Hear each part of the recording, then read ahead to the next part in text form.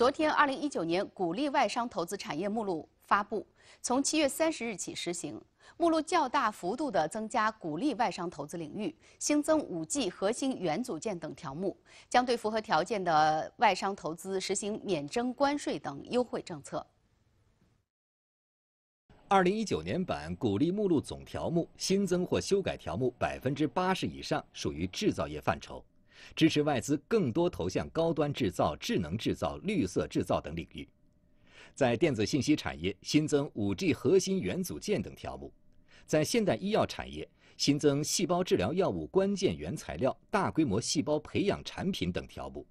在新材料产业新增或修改航空航天新材料单晶硅等条目。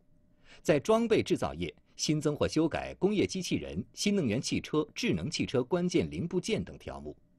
对于鼓励类外商投资项目，在投资总额内进口自用设备实行免征关税政策。此外，全国目录继续加大生产性服务业开放发展支持力度，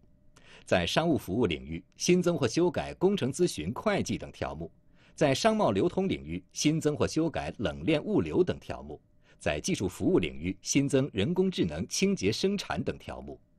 说，在一个全球的，就是贸易投资和技术的保护主义上升的情况下，中国的鼓励类很大程度呢，就是怎么能够用更开放的举措，来，